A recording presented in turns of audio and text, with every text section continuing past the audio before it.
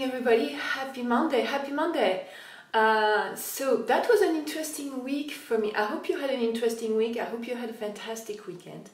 But it was an interesting week for me because I had a lot of very interesting conversations. Some were hard, and then others were instructive.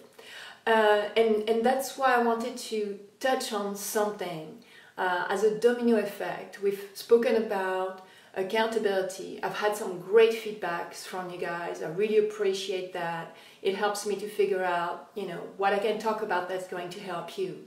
So if there is anything you want to talk about or you want me to talk about, let me know so I can dig into it or give you something that I already know. So accountability is huge for me. I think it's really extremely important. It's part of one of the systems that I use. And something kept coming back up this week. I had a conversation with a friend that was really focusing on the intention of individuals when it comes to hurtful behavior or very negative income, painful outcomes for others. And his point was, you know, intention is important to me. It's like, yeah, I completely understand that. Well, impact is important to me. so we had a difference of opinion on that one, on what was most important to each of us. Um, impact is important to me because impact is about accountability. The road to hell is paved with good intentions. I like to say that, in spite of the fact that I am not technically religious. It is true that we can have a best intention in the world and still hurt people a lot. So, in that regard, impact is important to me because it reveals you a level of accountability we need to embrace to really be able to stay part of a community. I had another conversation with a friend of mine, and she was saying about how a friend of hers is struggling with um, alcohol consumption, and when that person drinks, they are not fun, and sometimes their behavior is hurtful and uh, and and very antisocial. And that friend that drinks too much says, Well, you have to love me for everything that I am. You have to love me for the whole me. And it's like, Well, hold on to your Facebook memes here for five seconds because being able to love someone has nothing to do with validating their hurtful behavior. We can struggle all day long, but if our behavior starts hurting other people, we have an opportunity to own that. Uh, I love several individuals deeply. I love them with all my heart. But their behavior is hurtful, and I am not going to warrant that by letting them know it's okay. I still love them. If they come to me, I'll tell them, I love you.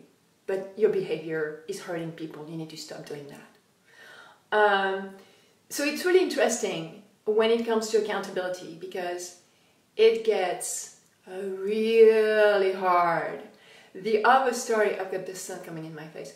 The other story I want to share with you is that I made a mistake last week. I know, sometimes I make mistakes. Um, but I made a mistake last, last week and I made an assumption that was not true about somebody.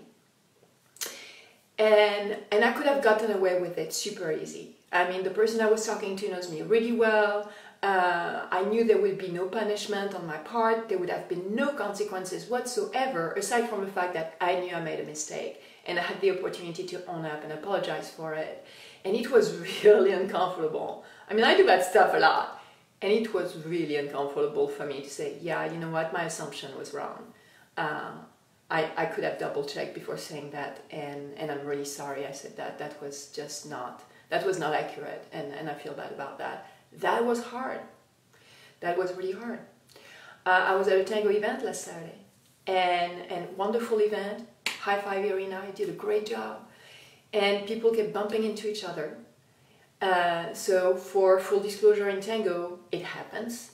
Uh, that being said, when that happens, uh, we stop dancing, we turn around, we apologize, and then we keep dancing and then we check if we didn't hurt anyone because sometimes we get each other's with our heels it can people get hurt. It's a beautiful uh, it's a beautiful hobby but you know there are, there are some dangers involved. I just want to be completely clear about that. And i kept seeing people over and over and over again bumping each other pretty hard and just not stopping not apologizing just making some kind of awkward face and then they kept dancing. I was like wow. I don't want to dance there. So it comes to me that we have become so allergic to discomfort. So allergic to it. Like the first thing will come if we're if we're going to be uncomfortable if we experience pain of any kind like how can we make it go away? Like we don't want to be in pain. We don't even want to be in discomfort of any type. And not only it's it's going to be a big block for our growth um, because we're not going to be able to go over that hump but what's going to happen is that the same way that that friend that drinks too much or that tango dancer who bumps into somebody else uh, or somebody who thinks that uh, intention is more important than impact, um, we are going to create disconnect.